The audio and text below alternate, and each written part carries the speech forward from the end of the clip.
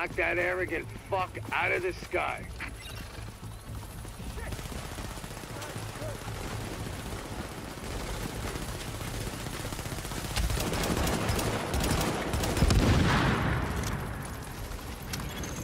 Agent, I've got reinforcements incoming. Keep them under pressure and stay sharp. That helo took out the master turret control. But if you can get to each turret, you should be able to realign them manually. Put some heat on this bastard.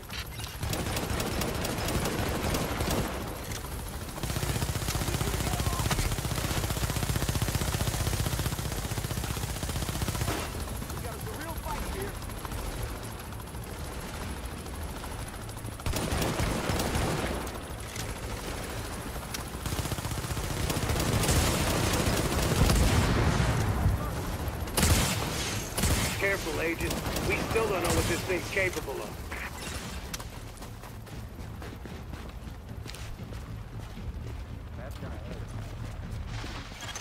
Hey, cover! Now! Now! Heads up, you've got ground troops incoming. LMB reinforcements. Watch your back down there. Warning. Hostiles inbound on your position. It would be pretty damn helpful if you get those turrets and flip them over to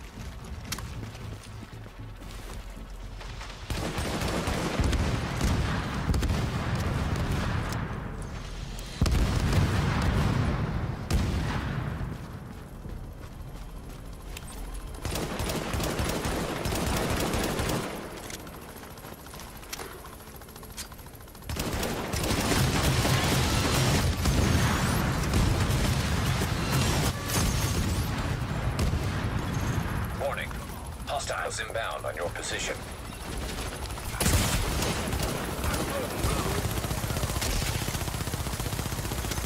Jesus!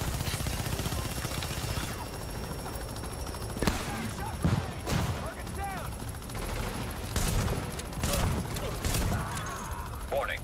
Hostiles inbound on your position.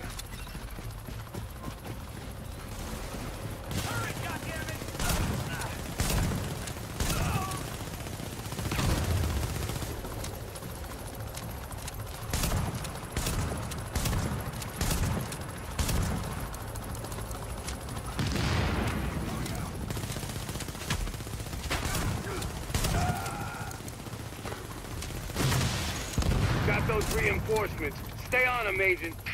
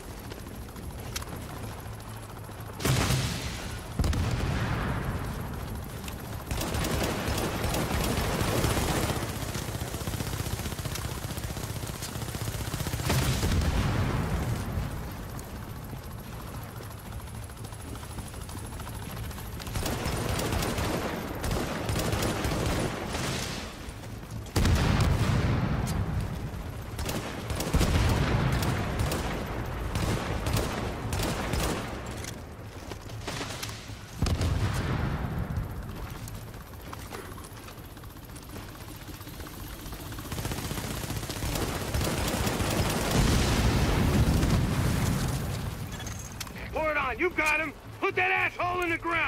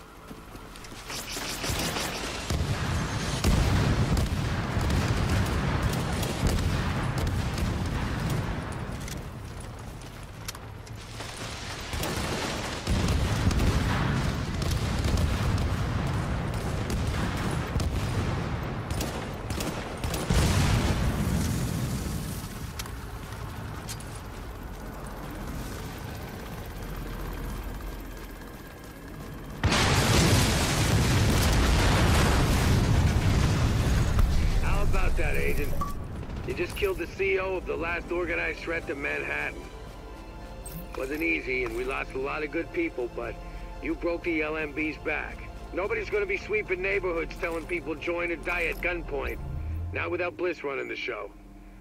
Still gonna be squads of them out there, but without the big man, we can handle them every day and twice on Sunday.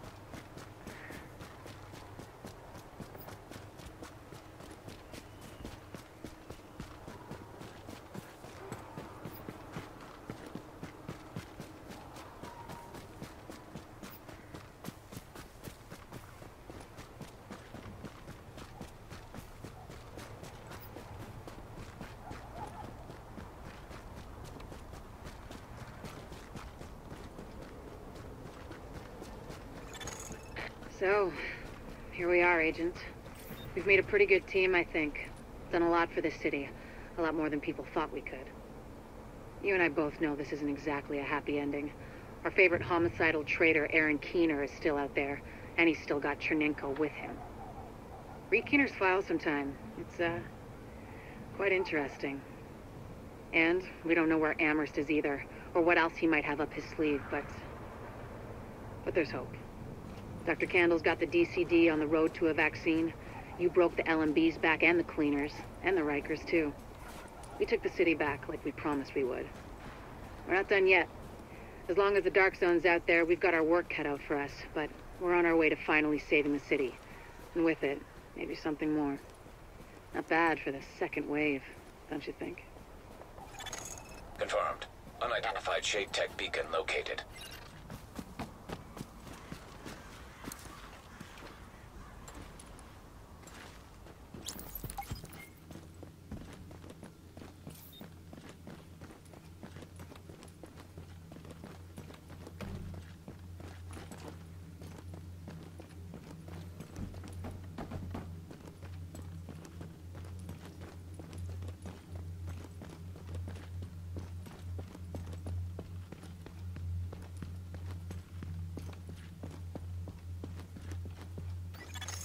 Readings indicate an echo nearby.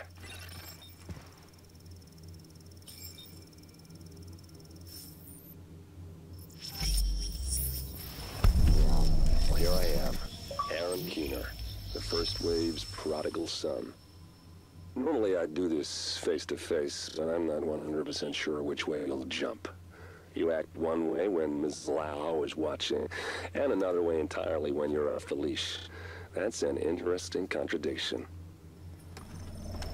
You see, I think that deep down, you get it.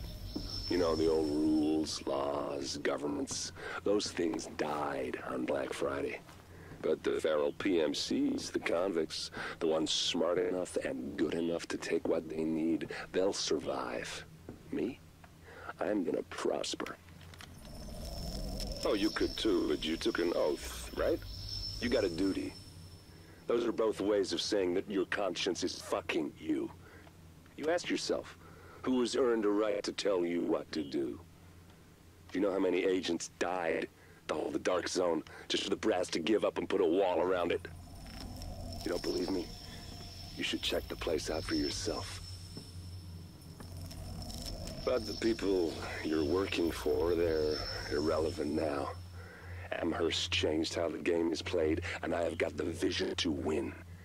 I got Tchernenko, I got a DNA printer, and a very interesting recipe book. I'm gonna write my own rules. You should think about getting in on this thing. I'll be seeing you.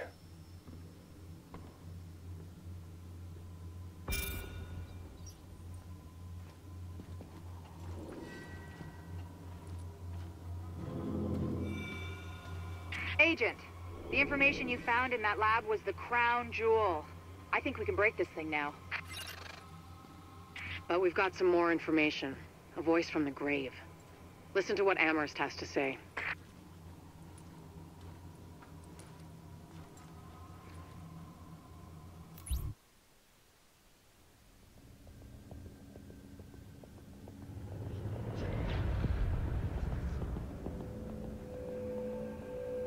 What you're looking at is the smallpox virus, one of the deadliest pathogens on the planet. For centuries, it did a wonderful job of helping keep the human population in check. But times change, and sometimes Mother Nature needs a hand in improving her creations. Like, say, speeding them up a little bit, making them contagious when they should be quietly incubating in a host, or making them more lethal.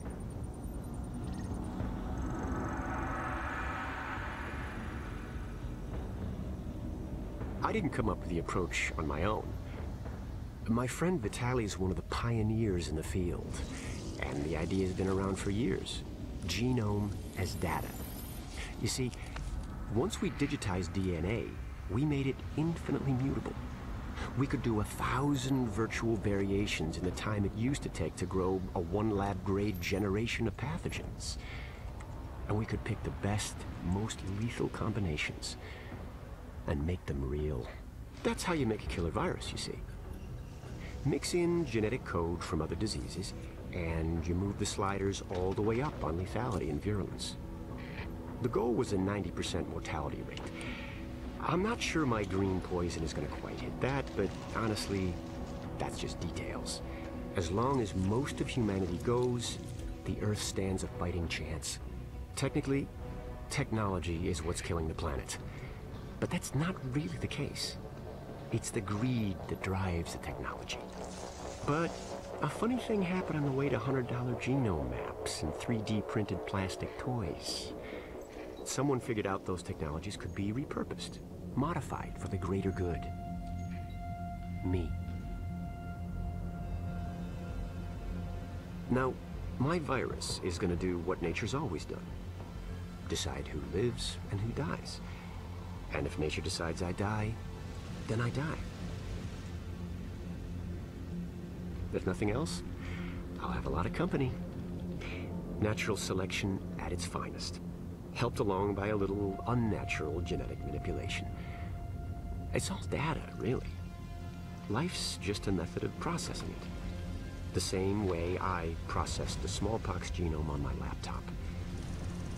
And who's to say that wasn't the plan all along?